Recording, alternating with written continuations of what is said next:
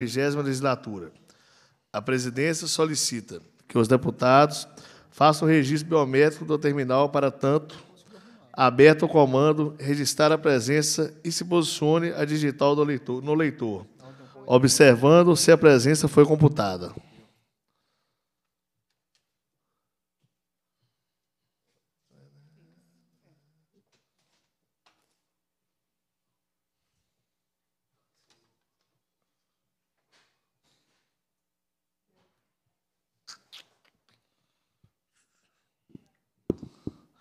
A presidência, nos termos do parágrafo 1 do artigo 132 do Regimento Interno, dispensa a leitura da ata da reunião anterior, considerando aprovada e solicita a subscrição. Esta reunião se destina a apreciar a matéria constante na pauta e receber e discutir e votar as preposições da comissão. A presidência informa o requerimento de comunicação no qual o deputado Neilando Pimenta informa que abre mão da sua vaga como membro efetivo da comissão. Ah, tá dona queria fazer até uma festa para Neilando aqui. Neilando me sai da, da comissão. A presidência acusa o recebimento do projeto de lei número 4.266-2017 e designe como relator da proposição o deputado estadual Douglas Melo. Passa-se a segunda fase da ordem do dia, que compreende a discussão e as votações de preposições que dispensam a apreciação do plenário.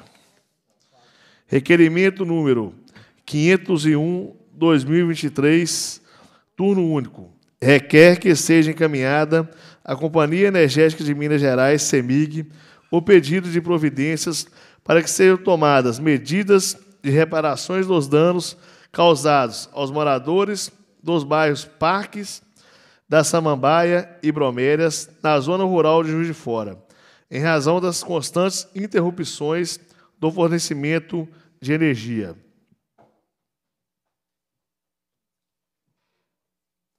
Autor da Comissão de Assuntos Municipais e Regionalização. Em votação, o requerimento. Os deputados que aprovam permaneçam como está. Aprovado o requerimento. Segundo requerimento, número 504, 2023, turno único.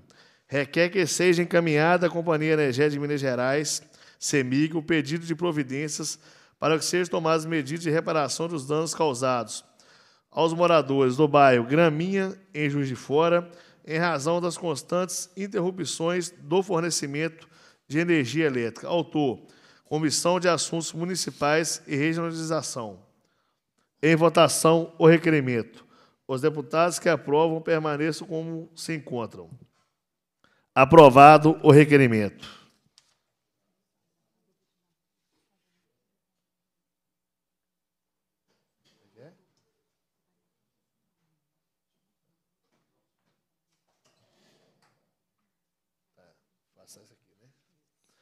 Passa-se a terceira fase da ordem do dia, que compreende o recebimento e a discussão e a votação das preposições da comissão.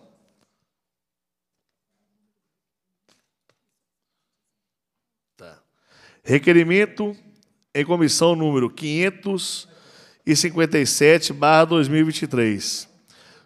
O deputado que subscreve requer que Vossa Senhoria, nos termos do artigo 100 do quinto do regimento interno que seja realizada audiência pública para debater sobre os impactos negativos ao consumidor decorrentes da aferição dos novos medidores digitais da Companhia Energética de Minas Gerais. Requerimento de número 556/2023. Eh, os deputados que subscrevem na requerência de Vossa Senhoria, nos termos do artigo 100 do 5 do Regimento Interno, que seja realizada a audiência pública para debater sobre os impactos negativos aos consumidores decorrentes da situação dos sites de apostas esportivas no Brasil. Autores: deputado Elismar Prado, deputado Douglas Melo, deputado Eduardo Azevedo, deputado Adriano Alvarenga. Requerimento de comissão de número 357/2023. Os deputados que subscrevem requer que Vossa Excelência, nos termos do artigo 100 do 5 do Regimento Interno, seja realizada audiência pública para debater acerca dos impactos ocasionados aos consumidores provocados pela paralisação dos atendimentos do plano odontológico executado através das clínicas odontológicas Arcata, em Belo Horizonte, Minas Gerais. Deputado estadual Lelec Pimentel, justificação. Precisa não?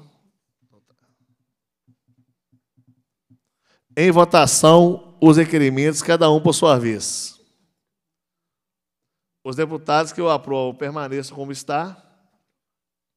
Aprovados os requerimentos. Passa agora a presidência para o nosso amigo e deputado estadual Elismar Prado.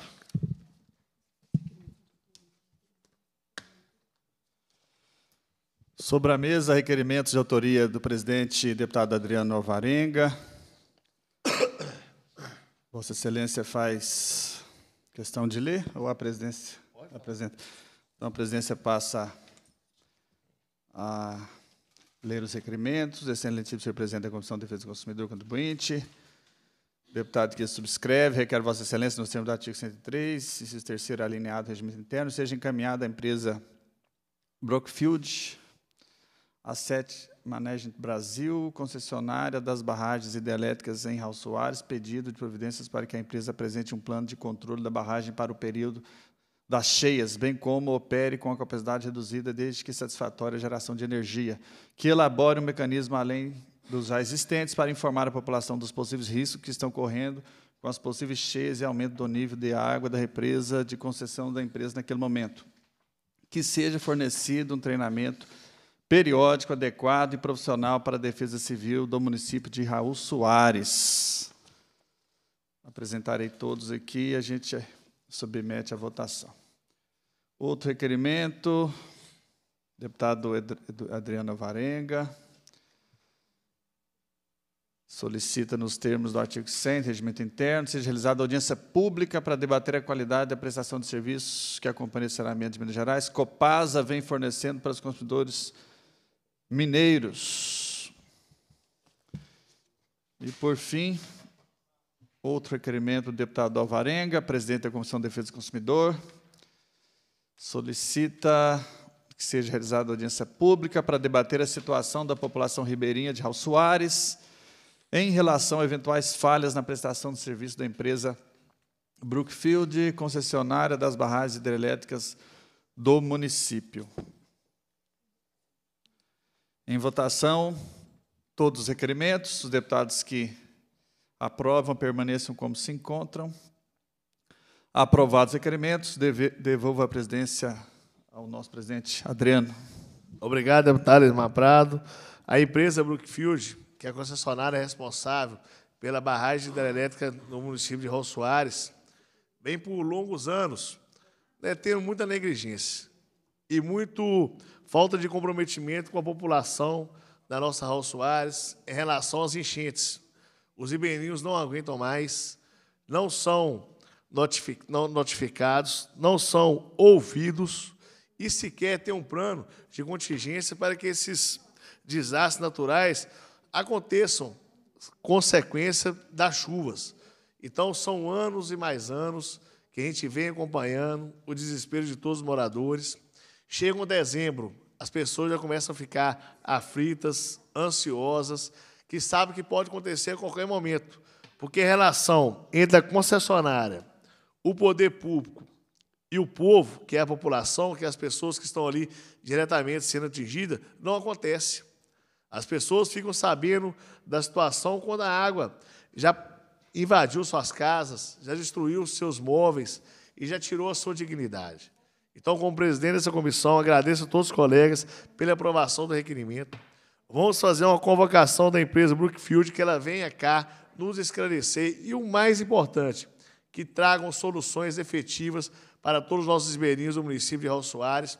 Como deputado estadual da nossa região, né, com uma pessoa muito próxima da nossa população, a Soarense, Raul Soares, eu falo que é a segunda é casa onde lá né, deu meus primeiros passos no trabalho, meu trabalho né, como produtor rural. Então, sim, sou um, um apaixonado por Raul Soares, sou um defensor do nosso povo raçoarense e, com as graças de Deus, tenho certeza que, através do nosso empenho, da nossa dedicação, da dedicação de todos os nobres colegas que fazem parte dessa comissão, vamos dar o fim dessa angústia, desse descaso e, principalmente, que as pessoas não aguentam mais, gente.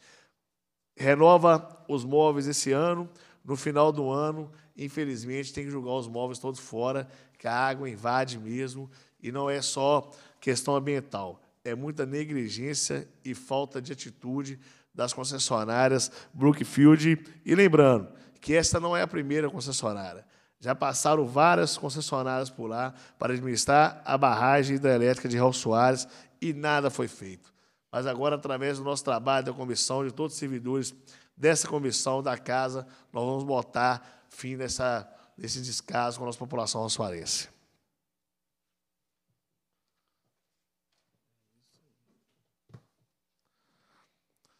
Deixa a palavra aberta aos novos colegas, se quiser fazer mais algum comentário. Presidente, parabenizo pelas iniciativas em defesa dos consumidores mineiros, especialmente da querida Raul Soares, né, que Vossa Excelência apresentou aqui. Cumprimento também o deputado Eduardo Azevedo. E quero registrar aqui nessa comissão, é, presidente, é, questões relativas à reunião realizada pela ANEEL é, em Minas Gerais, né, a revisão tarifária. O processo de revisão tarifária é, ocorre a cada cinco anos, onde os diretores da ANEEL deixam sua sede em Brasília e vêm ao Estado. Então, vieram a Minas Gerais realizar esse processo de revisão tarifária na sede da FIENG no último dia 17. Estiveram presentes eu, deputado federal Wellington Prado, que acompanha sozinho, né, faz essa defesa já há quase 20 anos, a defesa realmente combativa é, dos consumidores de Minas Gerais no que se relaciona à tarifa de energia elétrica. Muito importante, todos sabem, o impacto que tem a energia elétrica em todos os produtos, serviços, nos preços né, das mercadorias, chega a impactar cerca de 30%, presidente, no preço do leite, do pãozinho, de tudo. Né? Então, o valor da energia elétrica embutido em produtos, serviços, é muito grande e sacrifica muito a população mineira. A nossa conta de luz é uma das mais caras do mundo. A qualidade dos serviços da CEMIG está deixando muito a desejar. Fechamento dos escritórios, né, atendimento presencial, quedas né, é, de energia elétrica aí apagões no estado inteiro, deixando realmente grandes prejuízos aos consumidores, comerciantes, empresas, seja no campo ou na cidade. Então, nós apresentamos nessa reunião, aqui tem toda uma documentação, nós apresentamos todas as contribuições técnicas para questionar um grande abuso, que é a proposta da ANEEL, que está sob consulta pública, de 12,52% é de reajuste para os consumidores. Quase 13%. Nada justifica, e nós apresentamos todos os argumentos, inclusive a CEMIG vem batendo recordes de lucratividade. Em 2019, 3,2 bilhões de lucro, 2020, 2,8, e 2021, 3,7 bi 3,7 bi de lucratividade. E todo esse lucro não foi distribuído como deveria, através da modicidade tarifária, reduzindo a tarifa, melhorando a qualidade do serviço. Não, foi as, a duras penas sacrificando de maneira cruel os nossos consumidores, com um serviço de péssima qualidade e com preço extremamente abusivo. Nada justifica, nós questionamos novamente naquela reunião, estiveram presentes lideranças é, de todo o Estado, vereadores, né, e alguns movimentos que nós convocamos. Quero agradecer cada um e cada uma que participou e registrou a sua contribuição. É um processo de consulta pública, é uma reunião pública, é uma audiência pública, mas a ANEL faz de tudo para que não tenha público, presidente. Não existe transparência, não existe divulgação. Os consumidores mineiros não têm conhecimento de que existe esse instrumento que é a audiência pública para que ele participe, para que ele compreenda como, né, quais os componentes da conta de luz, para que ele apresente os seus questionamentos. Eles fazem uma audiência pública para simplesmente cumprir uma formalidade legal, mas não anunciam. A gente vê tanta propaganda bonita seja da ANEEL, da CEMIG, na televisão, mas eu nunca vi nem sequer uma informando o direito do consumidor de que ele pode participar de uma audiência pública para discutir a tarifa de energia elétrica. Nunca vi nenhuma publicidade nesse sentido. Então, é uma reunião que sempre foi feita assim, sem transparência nenhuma.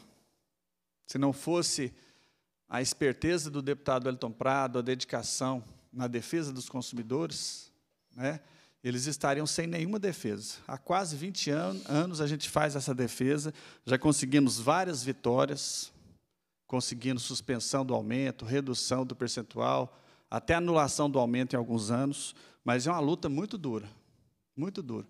E se engana todos, e lá na audiência nós falamos, que nós temos ganho político com isso. Nós temos só desgaste. Só desgaste. É deputado Eduardo Azevedo. Por mais que a gente lute em defesa do consumidor, inclusive há alguns anos a gente evitou o aumento da conta de luz, a sensação sempre é de que a, a, a conta é muito cara. É muito cara.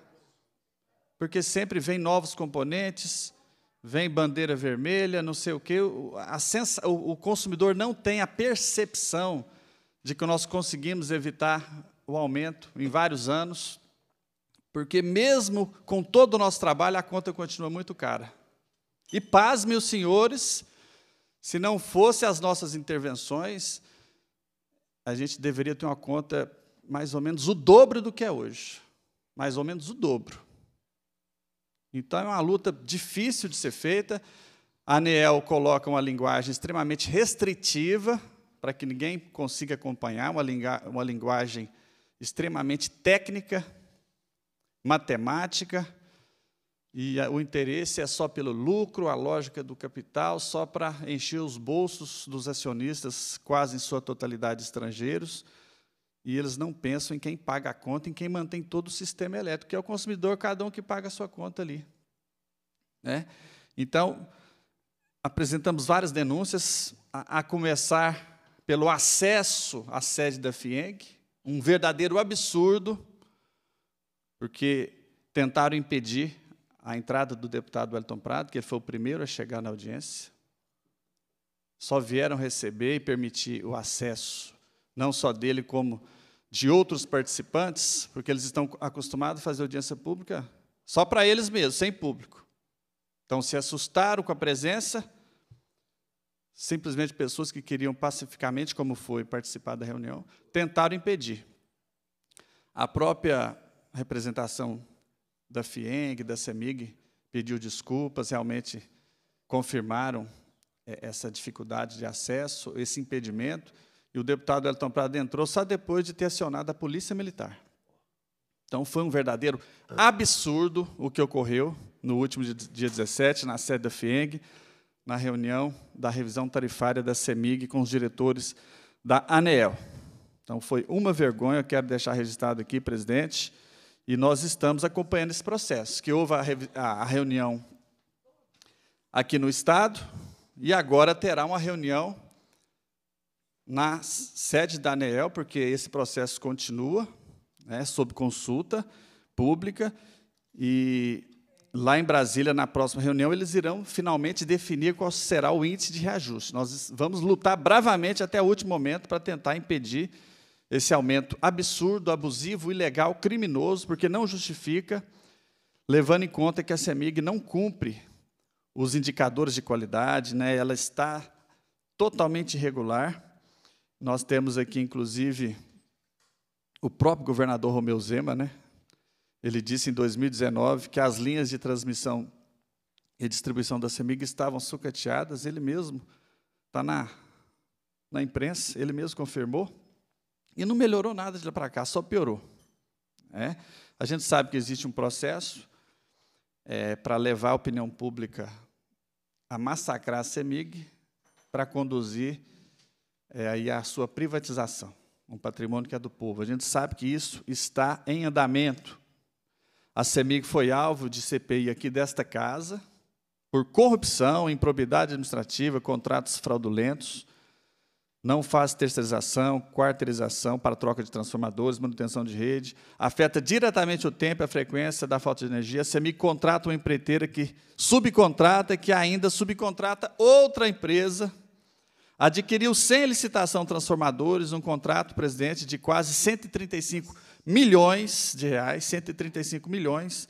Denunciamos somente em 2019, 50 bases de atendimento para irrigação de energia foram fechadas, 50 bases de atendimento fechadas, aumentou o tempo que os consumidores também ficaram sem energia elétrica. É, a ANEEL, né, no IASC da ANEEL, que é o indicador que permite avaliar a satisfação do consumidor residencial com os serviços prestados pelas distribuidoras, de energia, a CEMIG ocupa a oitava posição entre 11 concessionárias da região sudeste. A oitava posição. Péssima colocada, né? É, sites como Reclame Aqui estão lotados de denúncias e reclamações. Então, eu tenho um monte, uma vasta documentação dos apagões registrados no estado inteiro, aqui, tudo devidamente registrado, inclusive pela imprensa mineira. Todo Toda essa documentação foi entregue aos diretores Daniel, né? anexado as nossas contribuições. Em 2015, a CEMIG assinou renovação para continuar a distribuição de energia por mais 30 anos, presidente, por mais 30 anos. A partir de 1 de janeiro de 2016, e já em 2016 não se preocupou em cumprir a principal exigência, que é o cumprimento dos requisitos de qualidade na prestação do serviço. Né?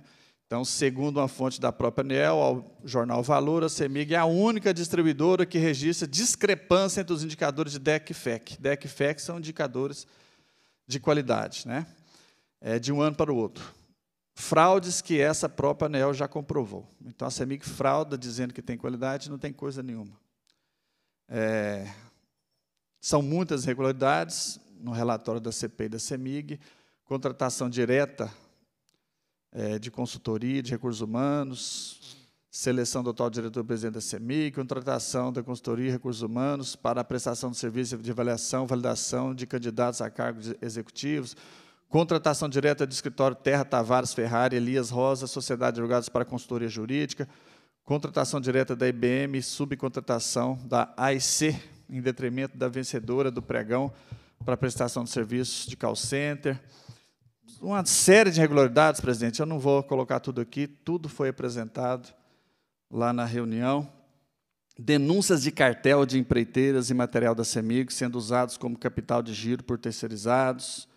A operação da Polícia Federal realizada naquela época, pós-CPI, né, antes da CPI, é, da Polícia Federal, Receita Federal, Ministério Público, por desvio de dinheiro na CEMIG, Escândalo de altos salários e jetons pagos a diretores e secretários de Estado, inclusive pagamento a suplentes de conselhos. Eram mais de 100 mil reais de salário, eh, deputado Eduardo Azevedo. Aí dos participantes dos conselhos, né? É, irregularidades na leitura digital, que, é, que precisa de perícia. A CEMIG dificulta até mesmo para o consumidor pagar a dívida, inclui o nome da pessoa no SPC Serasa. O nosso diretor do PROCON, Marcelo Barbosa, até falou uma questão cruel, realmente desumana. As pessoas estão parcelando em até 12 vezes a sua conta de luz. 12 vezes. Uma vergonha, uma vergonha. E, por fim, presidente, um processo que é a devolução de 6,2 bilhões na conta de luz. A CEMIG simplesmente cobrou tributos federais, que são PIS, CONFINS e PASEP, que são tributos federais, ela colocou na base de cálculo do ICMS, que já é o mais, o mais caro do Brasil. e ela colocou, incidiu sobre a base de cálculo do ICMS esses tributos federais. Ilegal, criminoso, cobrou dos consumidores mineiros, deputado Eduardo Azevedo, 6,2 bilhões a mais. E depois de uma série de processos, a duras penas, com muita dificuldade, começou a devolver. Mas falta um bilhão ainda, que ela está aplicando e não devolveu é para os consumidores. Em 2020, nós conseguimos a devolução de 17,4 milhões, né? somente após apresentarmos recursos. Os valores foram devolvidos, uma pequena parte do montante de 6,2 bilhões. É, mas foi suficiente para anular o aumento é, do reajuste, né, o reajuste anual daquele ano 2020. Essa devolução foi amortizada e não houve aumento. Em 2021 também é, não houve aumento e nós conseguimos a devolução de mais 1,5 bi, impedindo também aumento das tarifas em 2021. Em 2022, conseguimos a devolução de mais 2,8 bi de todo esse, esse montante de 6,2 que foi cobrado indevidamente dos consumidores mineiros. Então, nós conseguimos impedir também é, que o aumento fosse superior a 28%. Conseguimos, até agora, a devolução de 5, 5 bilhões. A CEMIG ainda deve 1 bilhão, mais de 1 bilhão, aos consumidores mineiros, e simplesmente ela faz aplicação indevida desse dinheiro, que precisa ser devolvido, corrigido pela Selic, né, como manda a lei, e simplesmente é uma luta que a gente está de olho, presidente. A CEMIG, a gente pergunta à CEMIG, está né, tá no nosso documento também, se ela solicitou à Receita Federal a compensação tributária desse valor de um, um bilhão, que é dos consumidores mineiros. Então, queria deixar aqui registrado nessa comissão, presidente, é, um pouco do que foi essa reunião da revisão tarifária com a ANEEL e da documentação que nós apresentamos lá, questionando o aumento e nós esperamos também a manifestação dessa comissão contra esse aumento de 12%. Os consumidores mineiros não aguentam mais, não aguentam pagar, que é um aumento abusivo, sem falar que é ilegal também, que a energia não é mercadoria, é um serviço essencial à população e tem que ser tratado como tal. Então, queria deixar registrado, parabenizar a luta do deputado Wellington Prado, que foi brilhante lá no dia da reunião, e a gente espera que haja sensibilidade dos diretores da ANEEL. Infelizmente, a ANEEL, já concluo, presidente, é uma agência reguladora que, ao invés de defender é, os consumidores, que é a parte mais fraca nessa relação de consumo, ela atua claramente, descaradamente em defesa das concessionárias, do mercado, só se fala em mercado, só se fala em equilíbrio econômico-financeiro, mas não pensam, Eduardo Azevedo, no equilíbrio econômico-financeiro do consumidor, da população carente, da população pobre.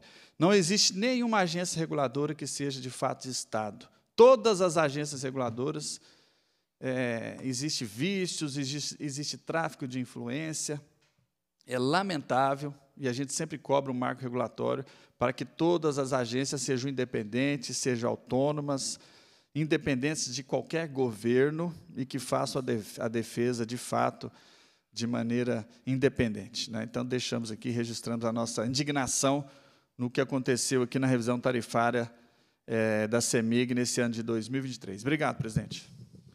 Eu que agradeço, deputado Elismar Prado. Receba aqui o nosso apoio, o nosso reconhecimento, a nossa consideração, tanto ao senhor, tanto ao deputado federal, o Prado. Estou tendo é o prazer, o privilégio de conviver com a família Prado e vejo a importância de vocês na política mineira, na política nacional, que são realmente defensores do povo. E é disso que nós precisamos: pessoas coerentes, pessoas sensatas, pessoas que olham o interesse do coletivo. Então, você, deputado estadual Elismar Prado, deputado federal Wellington Prado, receba todo o nosso apoio. A comissão está de portas abertas. Vamos trazer eles aqui na comissão para debatermos, discutirmos e, com as graças de Deus, chegarmos a uma conclusão que seja favorável para a população. A CEMIG hoje é um verdadeiro tapa na cara de todos nós mineiros. Tive a oportunidade de, no início da semana, começar uma reunião com a diretoria da CEMIG, e lá falei como estou falando aqui agora. Nós não aguentamos mais vê a CEMIG ser uma empresa que só enxerga os lucros. Mas cadê o investimento? Cadê a população? Cadê o pequeno, médio empresário que precisa ali de uma, de uma energia de mais qualidade, de uma, de uma carga maior para estar gerando mais emprego e renda? Cadê? Nós não vimos. Então, a nossa Comissão da Defesa do Consumidor e do Contribuinte está lado a lado com a nossa população, está lado a lado com a vossa demanda, deputado estadual Elismar Prado, traga para a nossa comissão que vamos debater, vamos discutir e o principal, vamos resolver essa situação, esse descaso, essas taxas abusivas que ano a ano vai entrando no bolso do consumidor, entrando no bolso do contribuinte e quem sofre com isso é quem? É o mercado. As contas de luz hoje elas entram em cheio no orçamento das famílias brasileiras, das famílias mineiras, dinheiro esse que poderia estar sendo investido em outra coisa, na educação dos seus filhos, na melhoria da sua casa, na melhoria de condição de vida, mas não. Como você bem lembrou, o nosso Marcelo, diretor do PROCON, né, na, na última semana, foi muito feliz a participação dele, de todos os universitários, e é um absurdo, imagina a, a, gente tem que pagar uma conta que a gente tem que pagar todo mês e o cidadão não aguentar, ele tem que dividir de 12 vezes. Aonde vamos chegar? Qual que é a condição que vamos dar para as pessoas delas conseguir mesmo pagar uma conta de luz, uma conta de água, de tratar da sua família e de ainda sobrar ainda para investir, principalmente na saúde dos seus filhos, que é a saúde que é a saúde e na educação, que é a educação que é sem dúvida a garantia de um futuro melhor para todas as nossas gerações. Né, declaro, é, cumprindo as finalidades dessa. Quer falar, meu irmão? Quer? Não? Passa a palavra para Eduardo Azevedo. Bom, é, puxando aí um gancho sobre o que você falou, presidente, é uma satisfação trabalhar com o deputado Wellington, desculpa, o Elismar Prado, é, que é tão atuante nessas pautas, que a gente vê a preocupação e a e o zelo que eles têm no quesito do, dos valores que são cobrados pela CEMIG e pela Copasa. Muito antes de entrar para a política, eu já acompanhava o trabalho deles e já vinha é, vendo que realmente eles estão engajados nisso. Então, deputado, eu quero te parabenizar, Elismar. Para mim é uma satisfação muito grande estar com você e, como membro da Comissão de Defesa do Consumidor e do Contribuinte, fazer é, essa ponte certo? Juntamente a, a CEMIG, juntamente a Copasa também, que cobra tarifas abusivas do consumidor. Está com você nessa caminhada para que juntos nós possamos trazer o resultado que a população lá fora, que votou em nós, que confiou em nós, possa ser representada e trazer para eles esse resultado, onde eu tenho certeza que nós vamos frear essas tarifas e essas cobranças abusivas que vêm contra o nosso consumidor. Obrigado aí, e é um prazer e uma satisfação muito grande trabalhar com vocês nessa comissão. Obrigado. Ô, pessoal, na primeira reunião eu acabei me esquecendo e eu nunca comecei os trabalhos sem agradecer a Deus pela oportunidade de estar em qualquer ambiente que for e principalmente pedir a Deus sabedoria, humildade e principalmente conviver bem com nossos colegas. Então, antes de encerrar esta reunião da comissão, eu pediria a todos nós que dessemos a mão e rezassem um Pai Nosso em agradecimento à nossa vida, à nossa saúde, ao nosso mandato, ao nosso emprego e principalmente ao nosso companheirismo. Vamos embora? O Pai nosso que está no céu, santificado seja vosso nome, venha a nós o vosso reino, seja feita a vossa vontade, assim na terra como no céu. O pão nosso cada dia nos dai hoje. Perdoai as vossas ofensas, assim como nós perdoamos a quem nos tem ofendido. E não deixeis cair tentação, mas livrai do mal. Amém. Toda a honra e toda a glória é do nosso Senhor Jesus Cristo. Deus seja louvado. Amém. Amém. Cumprindo a finalidade da reunião, a presidência agradece a presença dos parlamentares e convoca os membros para a próxima reunião ordinária determinada na lavradura da ata encerramento dos trabalhos. Uma boa tarde a todos, obrigado a todos os servidores e até a próxima quinta.